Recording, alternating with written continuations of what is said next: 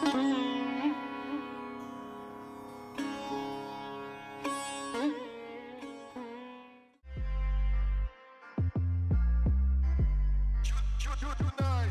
are you? Whoa! Ooh, you, ooh. Whoa! Whoa! Look how beautiful these guys are. How cool is that? Little eyelash viper. Indonesian king cobra. Ooh, look at that. Ooh. Whoa!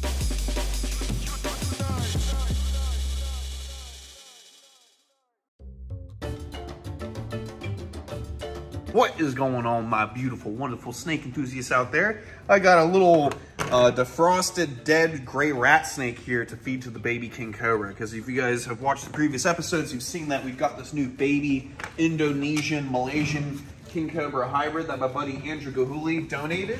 Uh, this snake does not eat on its own, so we have to assist feed it. And this will probably be like the fourth or fifth feeding that we've done for him. He's just a little guy. He's hanging out right in here. Little King Cobra. Super defensive. Just a cute little guy. But still at this size, he could definitely put you in a coffin. They do have residual amounts of venom that will potentially kill you, especially if you get bit in the belly like that. But he's just a little guy. Beautiful little baby King Cobra. Super defensive like they typically are at this size. And we just want to gently, we just want to gently pin him behind the neck. There we go. Nice and smooth.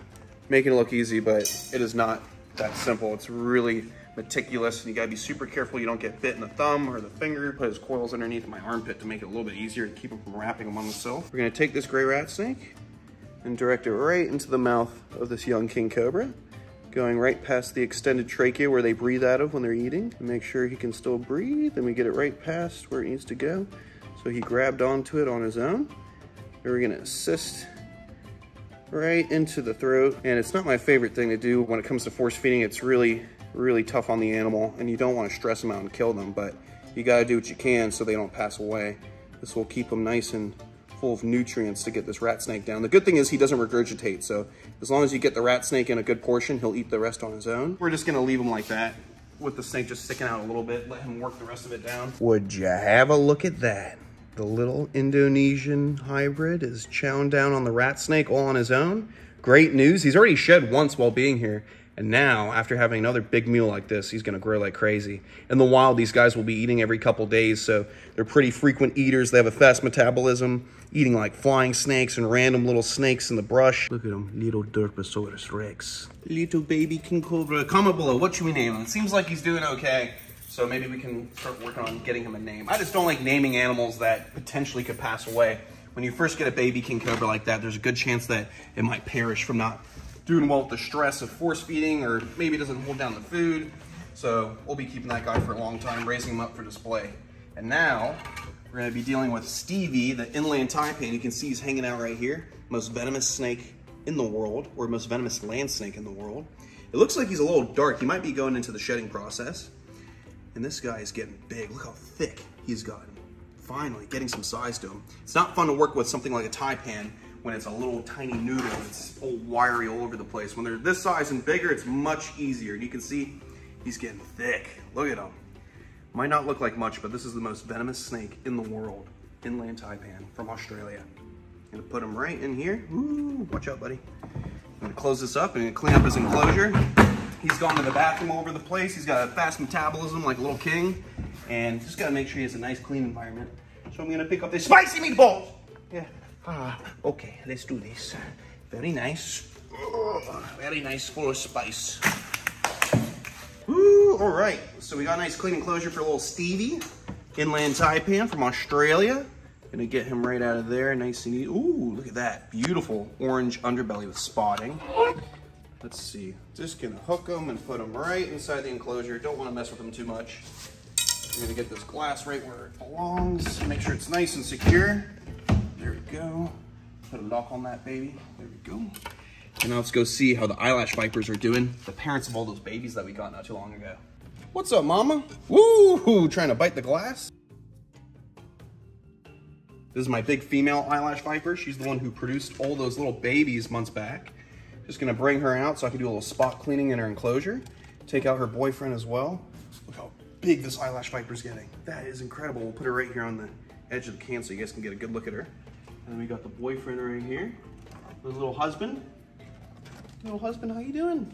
Beautiful red and green eyelash viper. You gotta love eyelash vipers. These guys are the most iconic reptiles next to king cobras and gaboon vipers. Look at that, beautiful yellows and reds. They're what's called polymorphic, so they come in an endless array of coloration. And even though the parents is, you got like a red and green one with a yellow one, their babies can be a plethora of different colors, endless color combinations. How cool is that? Little eyelash vipers. I'm gonna put these guys right in here. Just do a little spot cleaning real quick, pull out some poop. Even though it's a bioactive, sometimes they poop in areas that I can't get cleaned up with isopods. All right, we got the poop scraped off of the wood. We can put these eyelash vipers back where they belong. Look at that. How cool is that? I definitely need to get more eyelash vipers in the future. Maybe some oranges, some pinks, maybe some reds. Let's get these guys right back where they belong. And hopefully we can get some more babies from them in the future. Beautiful viper. Ooh, sorry. So sorry, so sorry. So nice. Yoshima. All right, now we got the albino monocled cobra. He needs to get cleaned up. He's got shed skin and poop all over the place. All right, let's flip the hide over just like that. Just want to be nice and gentle because he ate not too long ago. Relax, dude. This guy is drop for drop more potent than a king cobra, being a true cobra. These guys are found from northern India all throughout Asia. Ooh, dude. Beautiful albino monocled cobra. Look at that. Sexy looking snake. He's just a cranky male that my buddy gave me a couple years back. Stick him right in there. Relax, dude. Get his enclosure nice and cleaned up. So he has a nice place to go to. We got a nice clean enclosure. Let's get this beautiful albino monocled cobra back. Oi! Oi, sunshine. Gorgeous looking boy. Get him right back where he belongs. There we go. Nice and easy. We'll get this closed up, put a lock on it, make sure it's nice and secure. And now we're gonna move on to Justina, the female Indonesian king cobra. So the first king cobra you saw, that's basically what this little lady looked like years back. And she has not changed her personality since she was a little baby. She's always been a really cranky king. She ate a ball python not too long ago, so she needs to get cleaned up after going to the bathroom over the place. Want to make sure she has a nice clean area. Oi, Pepe, it's not about you. Uh, this time I'm gonna put her in the can. Last time I didn't do it, but I wanna make sure I get a nice deep clean going on. Hey baby, beautiful king cobra, look at that. She is a beast. Whoa, easy baby. Easy baby, relax. Look at that, woo. Big, beautiful Indonesian king cobra. Ooh, look at that, ooh. She's looking for something to bite. She's just looking to bite her own tail for a second, thinking it was me. Whoa! Look at that! She's a gnarly king cobra. All right, woo! I'm just gonna put her into the can. Not trying to play too many games with her today. There we go. Nice and easy. Uh-oh, she's got my hand wrapped up.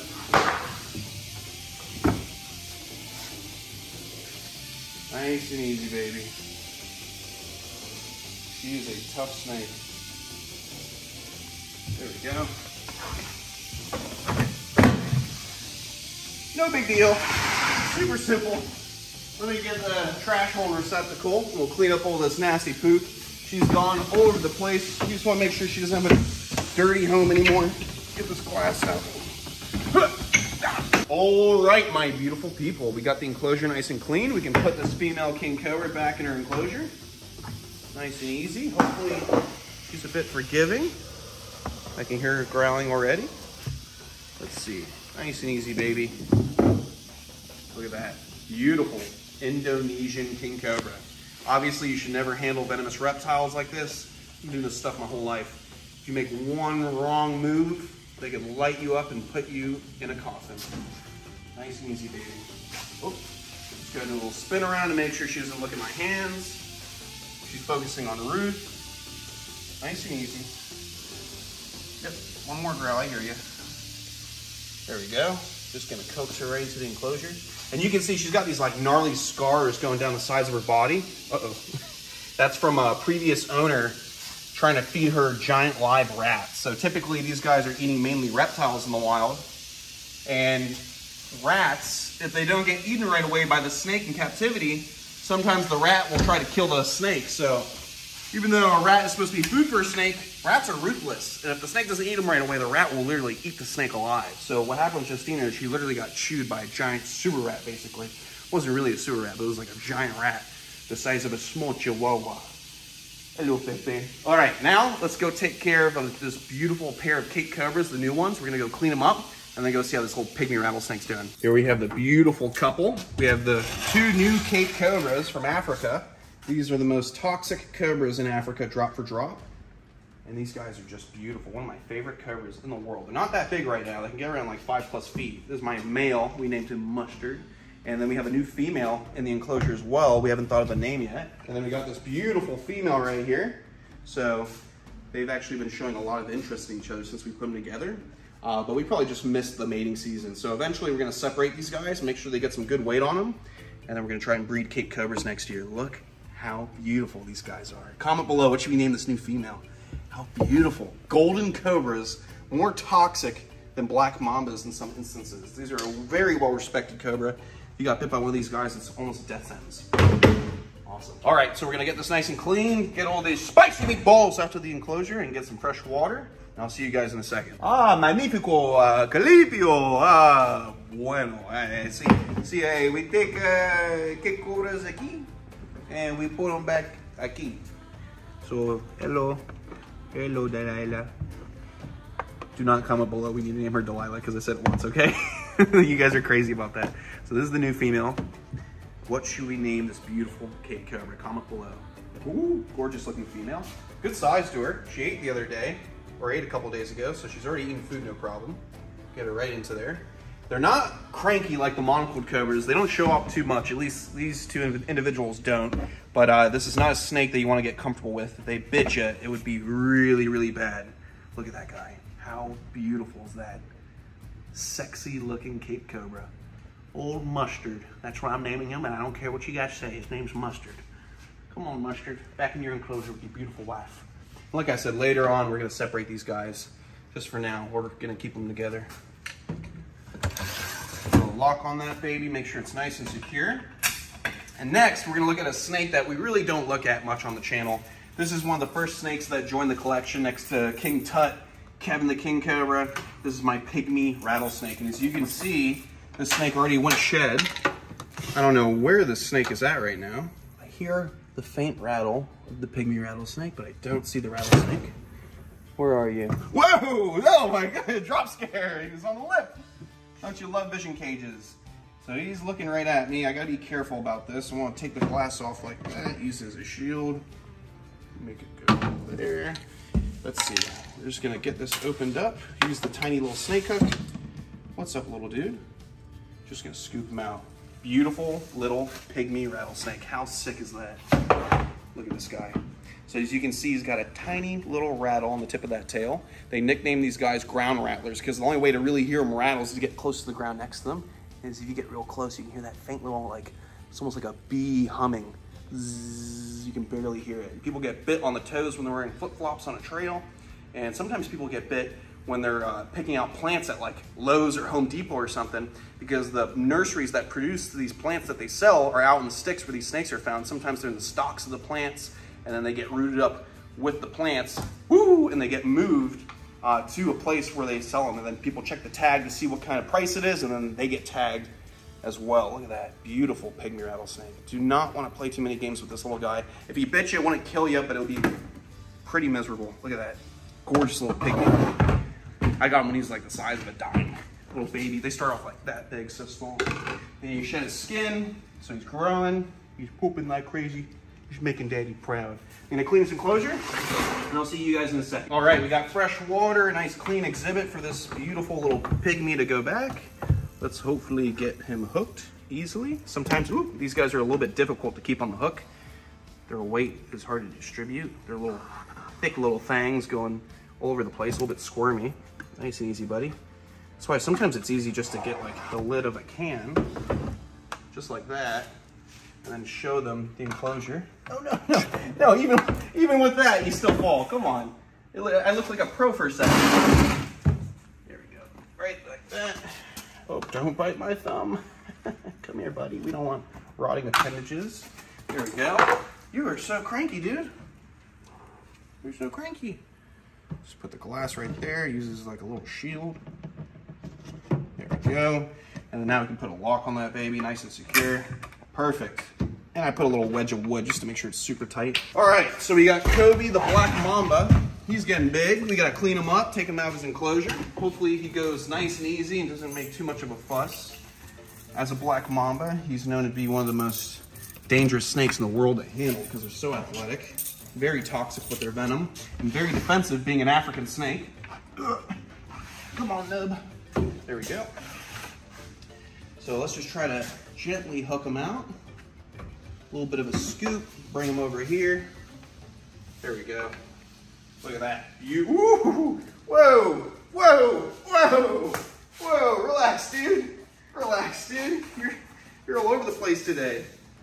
There we go. Kobe the Black Mamba. Big, beautiful, male South African Black Mamba.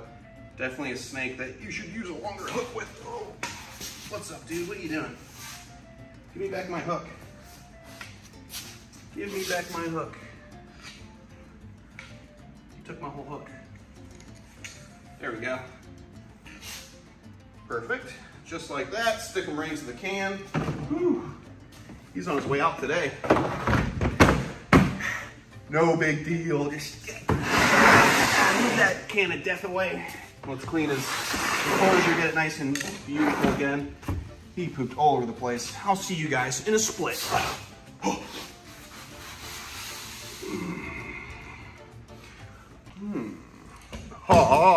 So we got this enclosure, nice and clean, fresh water, everything the mamba needs. Let's just get him out of this little horn receptacle. Ooh, right there at the mouth his mouth open. What's up, dude? You're so cranky. Black interior of the mouth, that's how they got the name black mamba. But there is actually a species of, uh, or subspecies, sorry, not a subspecies, there's a locality of mamba and I forgot what country it was, but it actually is all black, so its scales are black. And maybe one day we can try to get our hands on one of them. That'd be really cool. But mainly they're called black mambas because of that black interior of the mouth they flash when they're threatened. Come on, dude. Come on, we already clean, relax. There you go. Beautiful black mamba. He's thick, like I'm holding his coil in my hand. He's become a big, beautiful snake. There we go, nice and easy. He's gonna need an upgrade too. I wanna get him into the largest arboreal vision cage that they make, so Hopefully we can grab a couple of cages like that in the future. Maybe get a deal or something.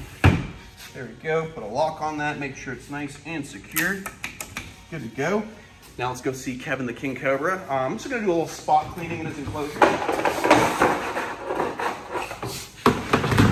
Just gonna do a little spot cleaning in Kevin's enclosure. Nice and easy. Try to get the can in there. Just make sure it's nice and clean for him. I'm gonna leave this door wide open so we can get out if we have to. Oh, hey, buddy. You're right there. How's it going? Shit.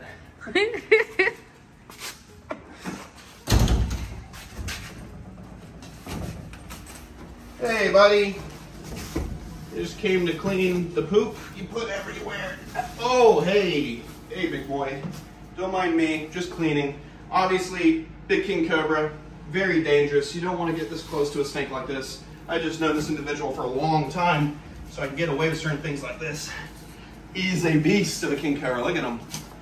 Just gonna clean his poop out a little bit, do a little bit of spot cleaning, make it easier on the isopods because they can only eat so much poop. There we go. And for those of you guys who are new to the channel, the isopods are basically roly-poly bugs that eat poop and fungus and whatnot. There we go. Get some more poop. Just a little spot cleaning so it's not super nasty in here. And then anything else will get eaten up by the bugs. Ah, big spicy meatball, crusty like concrete. Whew. Thank you, Mr. Kevin. Beautiful king cobra. Look at him. How awesome is that? All right, beautiful people. I will see you on the next one. Woo! Stay beautiful, stay safe, and most of all, stick to what you guys love in life. I love working with reptiles. I love traveling the world looking for them.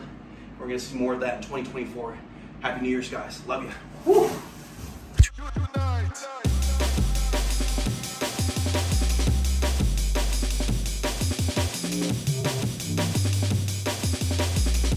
You? Whoa! Oh my god, drop scare!